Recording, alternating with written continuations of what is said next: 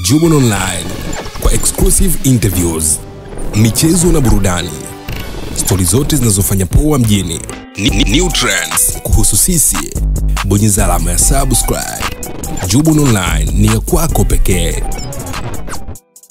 Ni bao la Mayele na umesikia hapo no goal offside.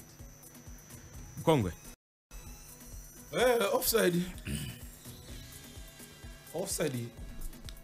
Na mshika kibendera amefanya kazi yake kwa ufasaha sana, eh, maana kulikuwa kuna mchezaji mm. wa Biashara United alikuwa yuko ndani yuko ndani na Yes. vitu viwili na, na, na nilishukuru tukio limetokea kwa sababu kuna wakati siku za karibuni nilisema natamani litokee ili watu waendelee kujifunza baadhi ya sheria. hii ni mara ya pili eh? kwa tukio kama hili Yeah, kama utakumbuka yeah, yeah. na Mayele alikuwa ameotea. Uh, kuna watu wanasema mbona kipa aliucheza ukamtoka, ungemtoka ukaenda kwenye miguu ya Mayele akascore moja kwa moja uh, lingekuwa ni bao, lakini ule mpira kipa alivyoucheza ukaenda kwa Fei. Fei akampasia Mayele akiwa kwenye offside position.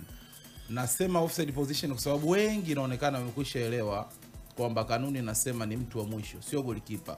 Anaweza mm, akawa mtu yoyote. Mpira ukikukuta katika offside position, huku mbele yako akiwa amebakia mtu wa mwisho, akiwa mmoja, wakiwa wawili sio offside, akiwa mmoja kama alivyokuwa mlinzi wa biashara uh, inakuwa ni offside. Kanuni inasema hivyo. Hawa pale angekuwa ni mshambuliaji wa biashara, kiungo, mlinzi, ingekuwa ni, ni, ni offside. Kanuni inasema ni mtu wa mwisho, haisemi golikipa. Nadhani uh, watu wataendelea kujifunza kwa sababu hata Ulaya ya matukio yanatokea, lakini kikubwa zaidi ni kwamba wanasema kipa aliucheza, alivyoucheza si ulimwangukia Fei, Fei akampasia Mayele akiwa katika uh, position ya offside mm. na ndi- ndicho alichotengeneza offside. Kama angescore moja kwa moja Mayele kutoka kwenye mikono ya kipa baada ya kipa kupangua, isingekuwa offside. tafsiri yake uh, ni nini kwa sababu mi kwa kumbukumbu zangu tukio kama hili mazingira ya offside kama hii goli imekataliwa ni la pili na tulimsifu sana katika tukio la kwanza ambalo tulilitazama sio katika mechi hii tulimsifu sana yule mwamuzi. Ilikuwa mechi gani? Uh, taikumbuka ngoja lakini kwa kumbukumbu zangu na mkongo na wewe utaungana na mimi kwamba sio Sawa. tukio la kwanza. Tulimsifu sana yule mwamuzi. Na uh, mwamuzi yule sio huyu. Hii maana yake ni kwamba waamuzi wetu wame wameamka sasa kuziangalia zile kanuni. Kuamka ni kuwa na mwendelezo sahihi. Eh. kwa mchezo mmoja bado huwezi kusema ameamka unahitaji kuona mwendelezo ukiendelea ndo hapo unaweza kaanza kujadili kwamba ameamka au amefanyaje amefanyaje. Hata hayo malalamiko ambayo unasikia analalamikiwa ni kwa sababu yamekuwa ni ya mwendelezo msimu kwa msimu msimu kwa msimu. Ndio maana unaona mambo yanakuwa hivi. Uh, hakuna ligi ambayo marefa hawakosei duniani. Uingereza marefa wanakosea. Ligi yoyote unaojua wewe mpaka kwenye ma World Cup marefali wanakosea mpaka kwenye afcon tumeona marefali wanakosea. Lakini ule mwendelezo wa makosa ndo ambao unapelekea watu kuanza kuwajadili kwa, kwa, kwa, kwa, kwa urefu na mapana. Of course ile ya jana ni clear offside na watu wanapaswa kuendelea kujifunza hivi vitu kadri vinavyotokea. Uh, utaenda kwenye mfano labda wa mbali sana msimu huu tu kulikuwa kuna goli la Harry Kane mechi ya Chelsea. Ilikuwa same same issue. Umeona? Kwa hiyo ndo kama alivyozungumza Edo kanuni inaeleza kwamba utakuwa umeotea iwapo utakuwa mbe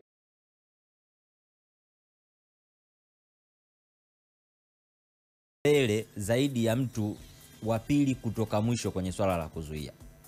Sijui umenielewa? Yes. kwa hiyo pale mtu wa mwisho ambaye anahesabiwa hajatajwa kama ni lazima awe golikipa kwa yule mchezaji wa biashara ambaye alikuwa yuko golini yule ndo namhesabu mtu wa mwisho. Mtu wa pili kutoka mwisho kwenye kuzuia alikuwa ni golikipa na maele alikuwa mbele ya golkipa kwa hiyo automatically yuko kwenye offside position. Kwa hiyo ndio maana nakwambia kwamba uh, ile ilikuwa ni clear offside. Na pengine ingekuwa na mjadala mrefu zaidi mm. kama yanga angekuwa hajashinda mchezo wa jana. Lakini sofa wameshinda. Nadhani mashabiki wa yanga wataichukua tu kama elimu. Ila ingekuwa wamekosa matokeo ndo hapo sasa wa, kuelewa ingekuwa ni ngumu sana.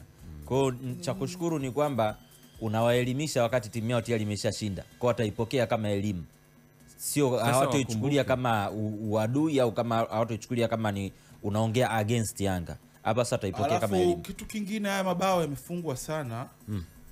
Na hata jana yule golikipa alishakata tamaa na baadhi ya wachezaji wa biashara. Hawakujua hiyo sheria.